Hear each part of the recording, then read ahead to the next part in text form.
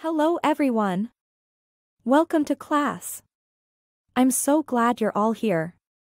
My name is Joling, I am your teacher. Today we will learn new vocabulary that related to our house. Let's start our lesson. Hallway. Hallway. There's nobody in the hallway. Air conditioner. Air conditioner. The air conditioner is not working. Sheet. Sheet. The sheet is dirty. Besom. Besom. I want to use your besom. Curtain. Curtain. The curtain is waving in the wind. Shower. Shower. She's taking a shower. Hanger. Hanger. Hang the clothes on the hanger. Brush. Brush. I use this brush to clean my bed. Fence. Fence. There are fence around the yard.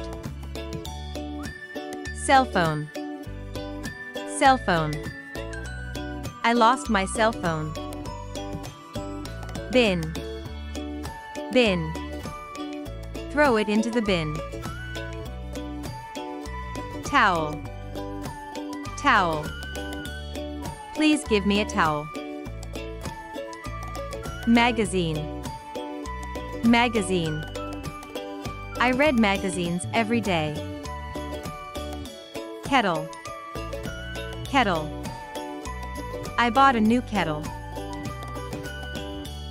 Room. Room. They just cleaned the room. Stairs. Stairs. They are walking on the stairs. Torch. Torch. Torch is very useful in the night. Blower. Blower. Where is the blower? Fridge. Fridge. The fridge is full of food. Photo. Photo. This is a photo of my parents. Mop. Mop. We usually wipe the floor with a mop. Wardrobe. Wardrobe. I don't like the wardrobe. Vase. Vase. This vase is very beautiful. All right. That's all for today's lesson.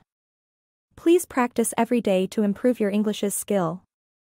See you next time. Bye.